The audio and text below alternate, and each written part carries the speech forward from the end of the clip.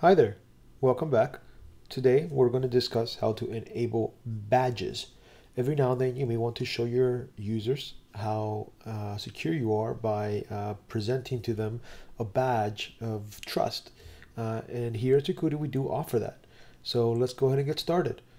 On the left hand side, when you first log in, you're going to see the little collapsible panel here called badges. Simply click on website badges. Once here, you're going to want to enable the SEO for a specific site. This is very important because then now we'll be able to give you a, um, an accurate report of the status of it. Now notice that there's a, four different seals. So let's see what happens when I enable SEO. When you enable it, scroll down, it's going to give you the code for every single seal. And then that's what you're going to want to pull in um, when you require it. So for instance, I like this one to the left, my favorite. So let's go ahead and copy that. Control C, you could also um, highlight it, copy it, okay? You're now going to want to go to your WP admin panel. Now the way WordPress works with widgets, it's going to add it to your sidebar, and that's where most people will want to do it.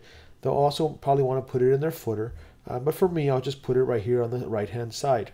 So I'll open up my WP admin. I'm going to go to Appearance, go to Widgets, click on Widgets, and I'm simply going to grab one of my text widgets and I'm going to drag it in here. I'm going to put it just below the search. I'm going to take and I'm going to paste the code that I just copied from my WP da or uh, from my Sucuri dashboard. I apologize. Go ahead and save that.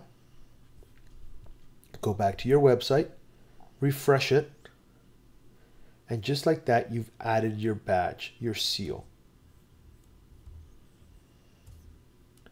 You click on it, you'll see what the user is provided.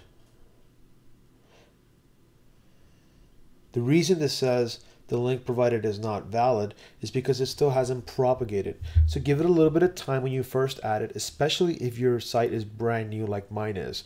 It has to scan before this will be populated. Once that scans, this will pop up, but the header will look the same. You'll just have valid information.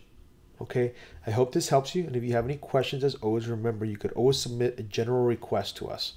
Take care.